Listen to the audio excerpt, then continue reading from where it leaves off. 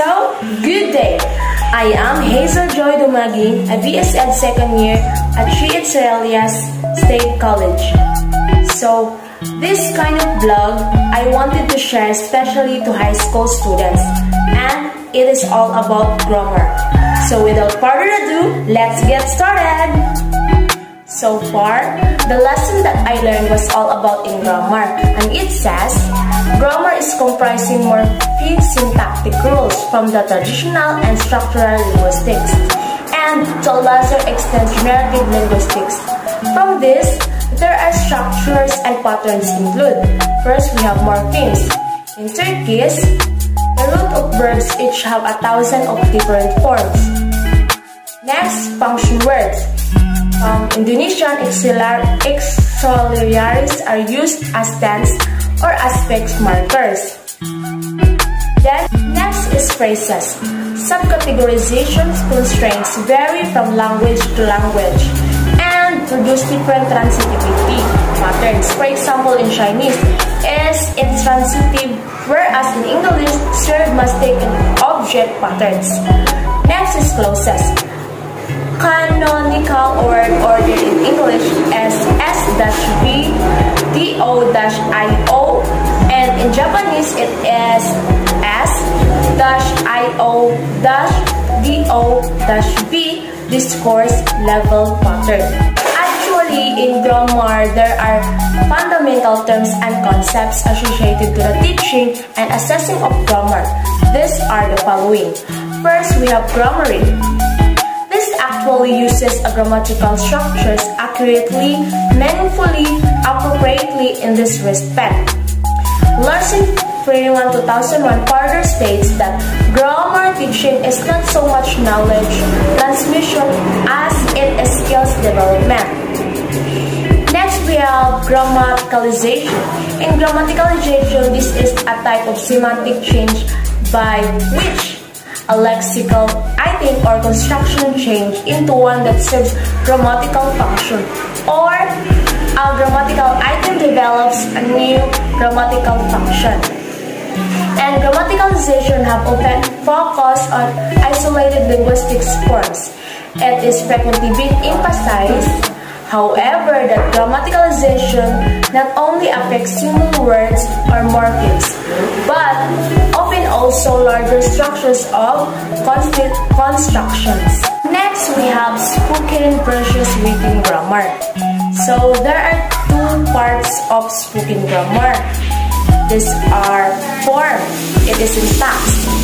Next, we have function. There will be function of spoken grammar that are necessary in writing. Though has two meanings, therefore it is used more.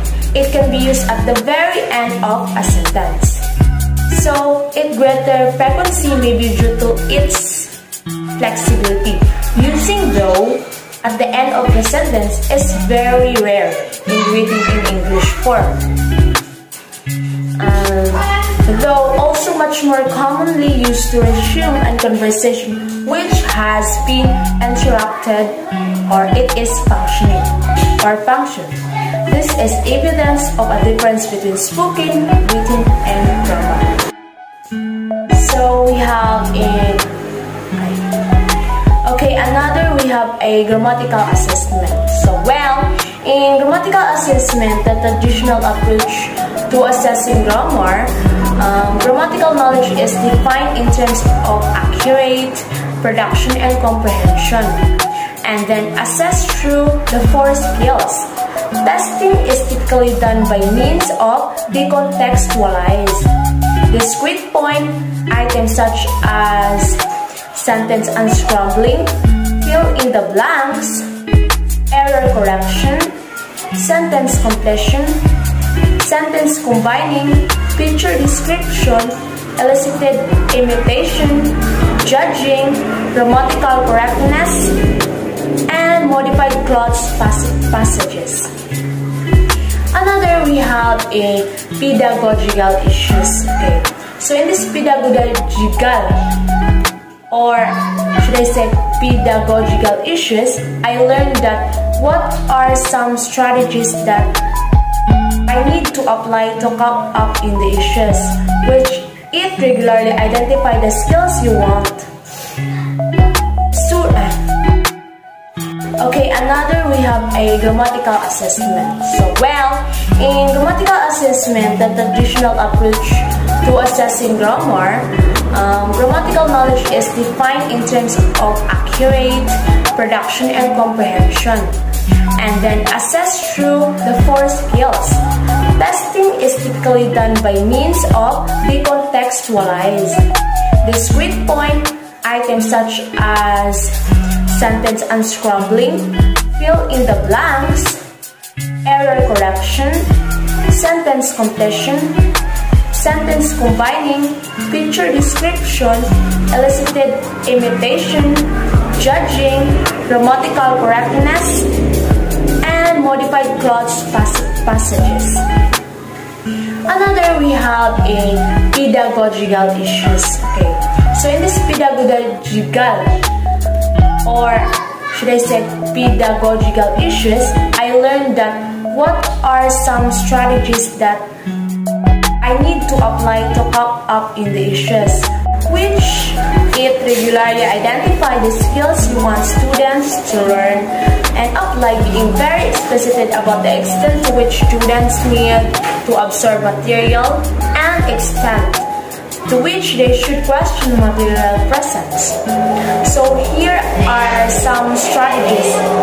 So first, incorporate checks for comprehension into the classroom presentation style. Another, we have provide clear guidelines for participation and allow time for a participation learning curve. For example, a trial period before participating points can be adhered.